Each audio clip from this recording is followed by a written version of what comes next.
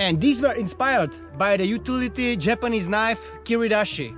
And we call them the guillotine.